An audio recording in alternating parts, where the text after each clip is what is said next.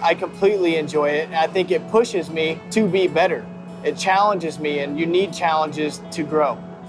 I'm Senior Airman Elijah Snyder, and I'm a Missile Systems Maintenance Technician. We do what it takes to get that intercontinental ballistic missile on alert. A Category 1 is the highest level of mission that we have. That is when we are transporting the reentry system, which is the warhead itself. It is the asset that we need to protect. The payload transporter is heavily guarded when we do Category 1 convoys. We have air support, we have ground support. I would definitely say your adrenaline kicks in, especially when you're new to this job. But after a while, you just get used to it because it's your duty and you get good at what you do.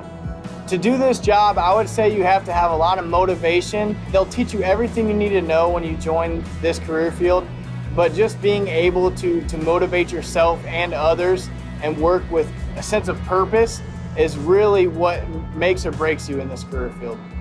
It is a very big deal to maintain nuclear deterrence, and I am doing my part to uphold that. When I'm driving a truck that has such important cargo, it really makes you think about what you're doing and, and how important you are, especially compared to a lot of other people your age doing what you normally do after high school. My favorite part about my career field is coming home at the end of the day and knowing that what I did made a difference. And not only did it make a difference, but I had fun doing it. I'm working with the people I like.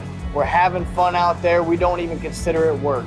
That's my favorite part, is just being able to do something that I actually like and make a difference. I'm Senior Airman Elijah Snyder, and I'm an American Airman.